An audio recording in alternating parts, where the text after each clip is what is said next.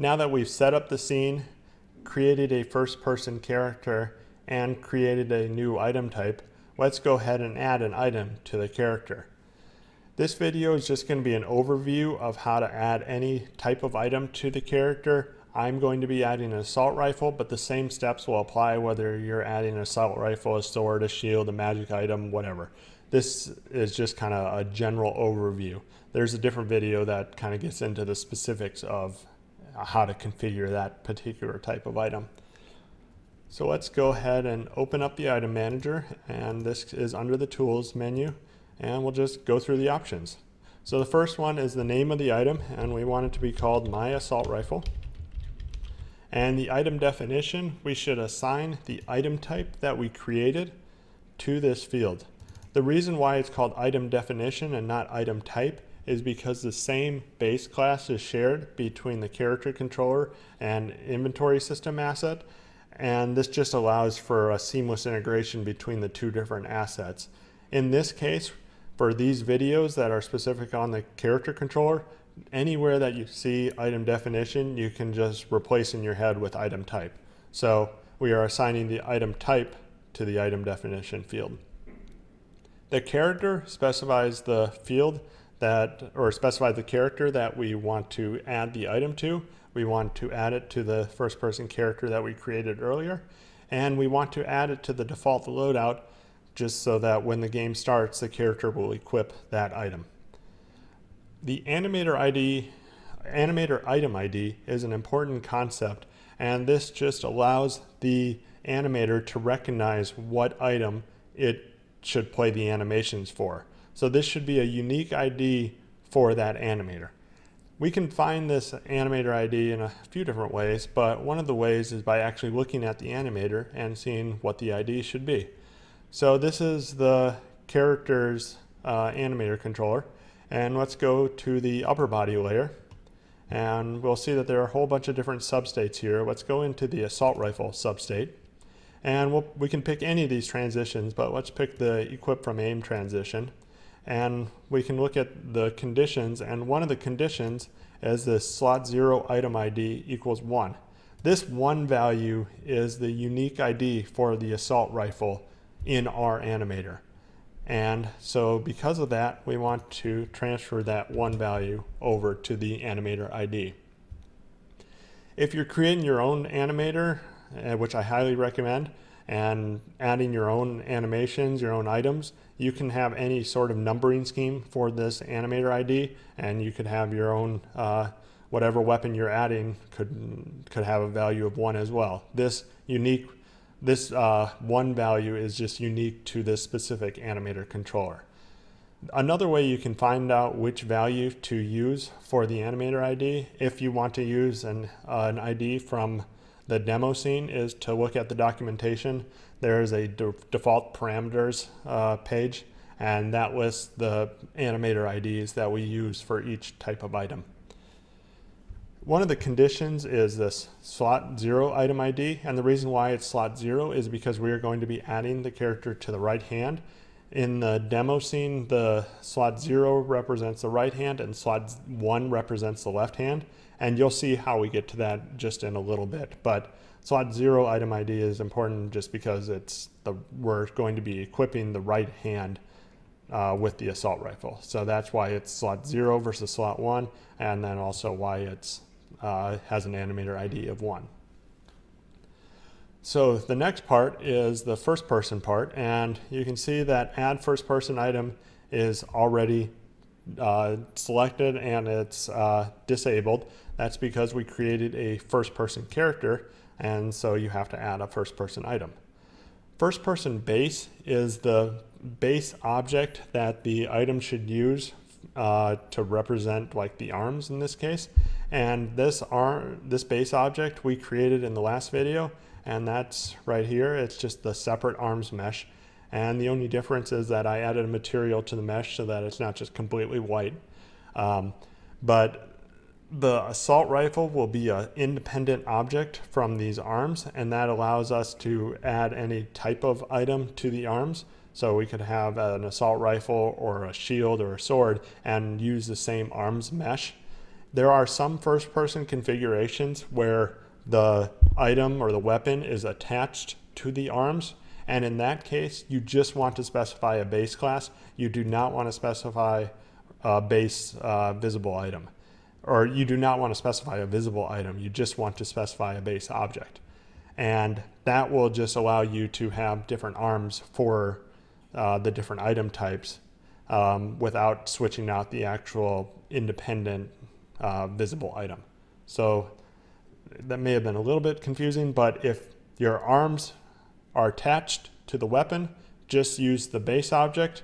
If your weapon is detached from the arms, you'll want to specify the visible item. So let's, because our arms are detached from the visible item, let's go ahead and specify the visible item.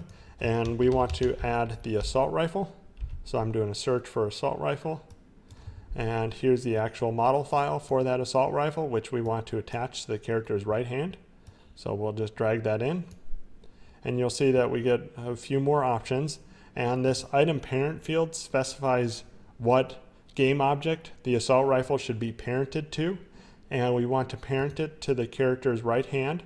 So let's go to the first person objects and then the first person arms, and we'll find the right hand keep expanding. So there's the right hand, and we'll just drag that in.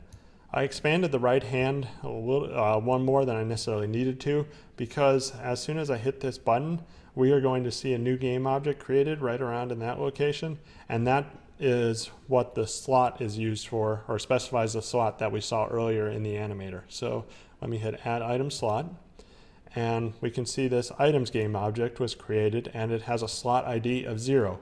This slot ID of zero matches this transition slot ID, slot zero item ID. So because the assault rifle is being added to the, the zero slot on the, um, under the character, the zero slot, that's why we wanted to use the slot zero item ID parameter. So that's how the, that connection is made. This animator controller field allows us to specify an animator controller for the assault rifle. In this case, this will allow the trigger to be pulled or the, uh, the item to be, uh, or the animator, I mean, sorry, for the assault rifle to actually be shot. Um, and this, this is specific for that assault rifle. Um, in most cases, you'll have an animator for uh, shootable weapons, but you won't necessarily have an animator controller for uh, something like melee weapons. This third person uh, option allows us to add a third person item to the character's right hand. In this case, because we are not using this character for AI or multiplayer, we just want to deselect that option. We don't want to add a third person object. If we added a third person object, it would be kind of just like an invisible floating object because the character has no hands in this third person view. So let's just deselect that. The action type is shootable weapon because we want to add an assault rifle versus something like a melee weapon. And the consumable item definition or consumable item type is the my assault rifle bullet, which is what we had created earlier. We can leave state configuration and profile at their default values, uh, and there's a different video that kind of goes through setting this up, but we'll just leave it at default so that we can configure everything uh, as is. So let's hit build item, and let's actually let's move the camera view so we can see the assault rifle will now be parented to the right hand after we hit build item. So there we go.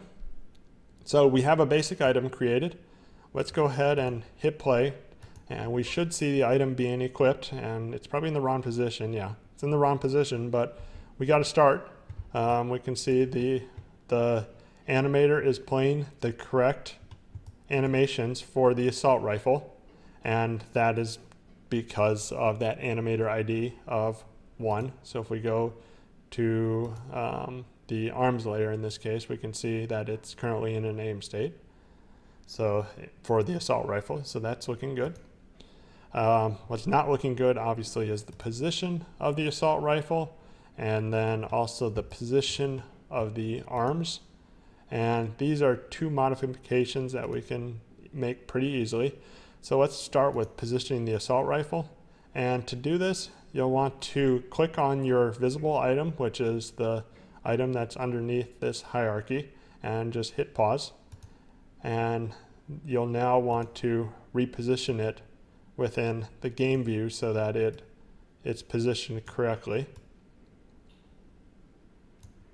And I'm not going to be able to get it perfect, um, but this is it's close enough for the most part. So, so that, okay, that, that looks good for now. So let's just go ahead and copy this component, the transform. We'll stop playing and then we'll just paste these component values. And now when I play again, we should see that the assault rifle is positioned where it was before, so that looks good. Now it's just the arms that we need to reposition, and we can do that through by clicking on the assault rifle that we created under the items uh, game object, and we'll scroll down to the first person perspective item, and we can adjust this position spring, and this will adjust where the assault rifle is located or the arms are located. So we'll move that back a little bit.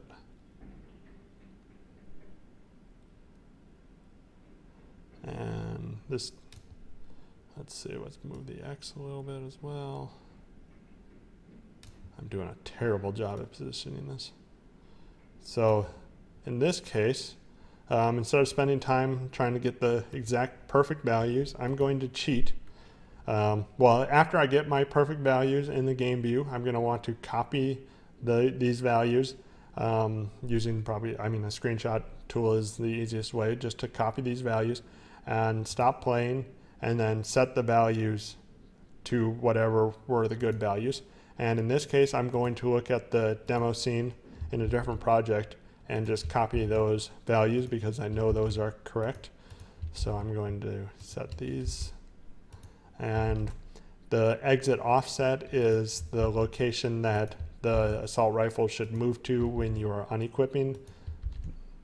And so we want to move it lower a little bit. So that's the position and then the rotation has a different set of values that I'm also going to cheat on, but that one's a little bit easier in that it's the exact same value, so perfect. So now when I hit play, we should see that the assault rifle is positioned correctly with the arms. The one problem is you'll notice in the game view, it looks like I'm actually missing some arms, whereas in the scene view, the arms exist. The reason for this is because the render bounds are set incorrectly, and you can see that the left armor in this case has a render bound, the rendering box is way over here. So let me move that rendering box. I can go to edit bounds and I'll just start modifying it to, to fit the location. And you can do this in the uh, while the game is playing, but remember you'll need to copy those values back. So, so that's the reason why that those um, that mesh had disappeared. So make sure you set the correct render bounds for your your mesh, so that when it appears, um, it will, or when the item is equipped, you'll actually see the mesh as well. So that's kind of just a basic overview on how to equip any type of item. I'll get into the specifics later on how to actually configure the assault rifle to shoot or to, to reload.